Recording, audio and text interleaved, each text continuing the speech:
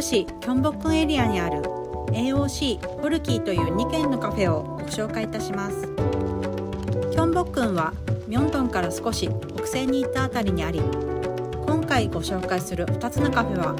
地下鉄3号線キョンボックン駅が最寄りとなるソチョンという町にあります。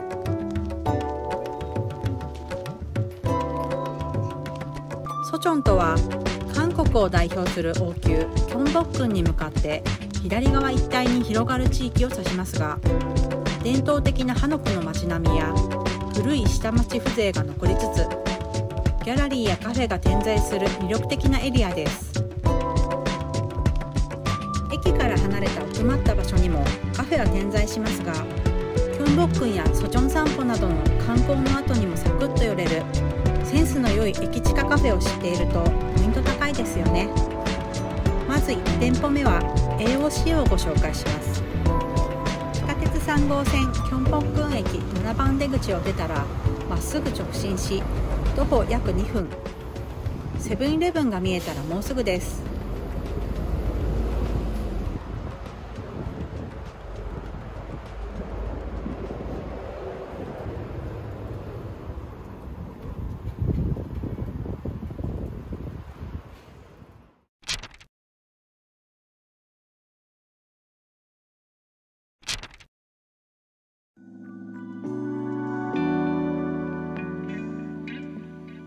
C は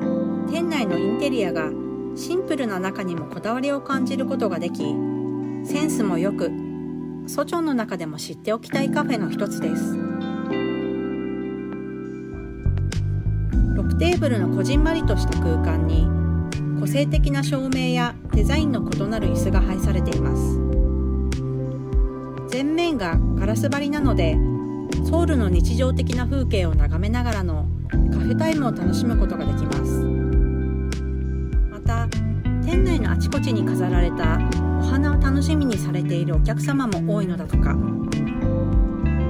ちなみにお花は AOC の数軒隣のお花屋さんで定期的に買っているのだそうです。可愛らしいお花屋さんなのでそちらにも立ち寄ってみることをおすすめします。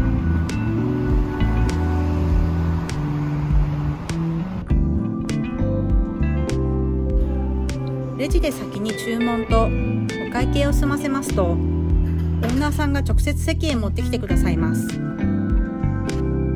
今回オーダーしたのはパンナコッタとアイスアメリカーノ。季節ごとに変わるフルーツのコンポートは数種類から選ぶことが可能です。オーナーさんに伺ったところ今はパッションフルーツとチョンドポクスンアというネクタリンのようなフルーツが人気とのことで今回はパッションフルーツにしてみました。早速食べてみたいと思います。バニラビーンズが効いたプルンとしたパンナコッタは優しい甘さです。この季節にぴったりな少し酸味の効いたパッションフルーツがよく合います。韓国のネクタリン천도복숭아のコンポートもとても気になったのでシーズンが終わる前にまた食べに来たいと思います。アメリカーノは酸味と苦味のバランスが程よくて飲みやすいすっきりとしたお味でした。本日こちらで注文したのはアイスアメリカーノ4500ウォンパンナコッタ7500ウォン合計1万2000ウォンでした。近隣の会社員の方や地元の方もふらっと立ち寄りオーナーさんとちょっとした会話を楽しみつつテイクアウトされていく姿も見かけました。観光の合間に気軽に立ち寄るにもおすすめです。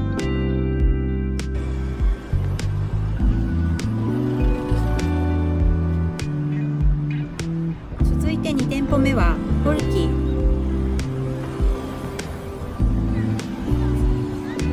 こちらのカフェもキョンボクン駅から徒歩約6分と駅近のおすすめカフェ。一番出口を出たらしばらくの間直進します。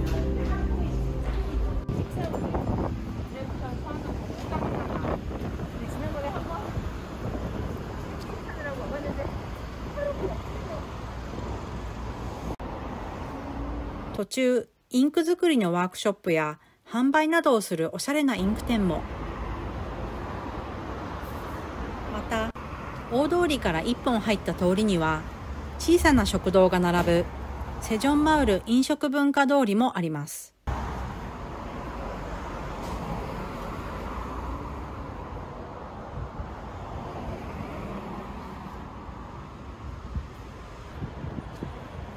サンサロンに差し掛かったらもうすぐそこです。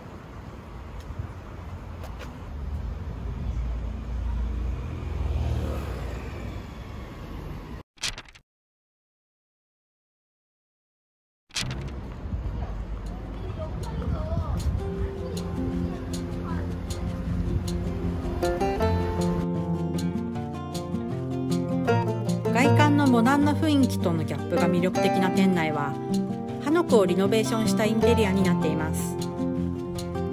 4年前にソウルカンドン区の革工房からスタートしより多様に展開しようと昨年現在の場所に移って工房兼カフェに変貌を遂げたそうです。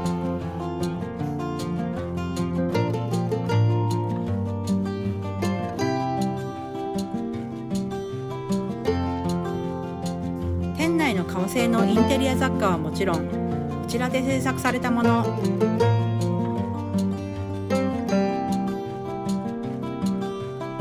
簡単な革小物作りを体験できるワンデークラスや定期クラスも設けているそうです。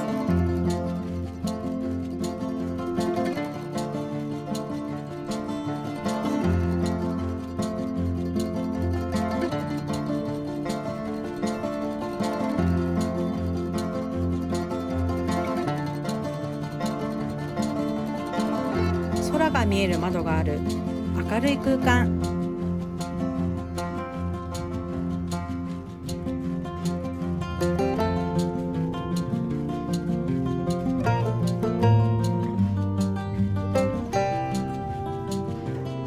注文は先にレジで済ませます。コーヒー系のシグネチャーメニューはポルキーラテ。ティー系のシグネチャーメニューはルイボスアインシュピナーだそうです。デザートはテリーヌで抹茶とチョコ味から選べます。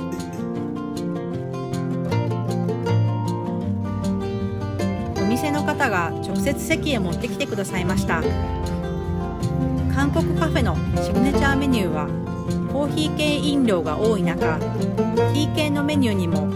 オリジナル感あふれるシグネチャーメニューが用意されているのが嬉しいですよね。回はその T 系のシグネチャーメニューであるルイボスアインシュピナーとチョコレートのテリーヌをオーダーしてみました。紅茶やコーヒーにクリームが乗った飲料は今まで飲んだことがありましたがルイボスティーにクリームは初めてです。ルイボスティー自体の独特な風味にクリームが入ることによってまろやかな風味になっていました。意外と合うんですね。またテリーヌは結構しっかりめなテクスチャーです。表面の焼けたサクッと感と中のしっとりと濃厚な感じが楽しめます。トッピングのココアパウダーで甘さに深みが出ていて美味しかったです。本日こちらで注文したのはルイボスアインシュピナー6500ウォンチョコテリーヌ6000ウォン合計1万2500ウォンでした。キョンボックンやソチョンに遊びに来た方たちだけでなく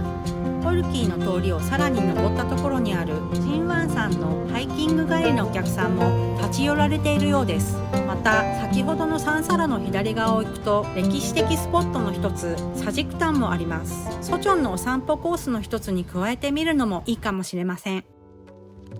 今回の動画がお役に立ちましたらいいねとチャンネル登録をお願いします。Twitter や Instagram のフォローもよろしくお願いします。またホームページでは YouTube では紹介しきれない韓国のレア情報も掲載していく予定なのでぜひ遊びに来てください。た韓国 TV プロデューサーズでは韓国が大好きで韓国の魅力を紹介してくれるプロデューサーを募集しています。募集要項もホームページに掲載されているので興味のある方はチェックしてみてください。それではご視聴ありがとうございました。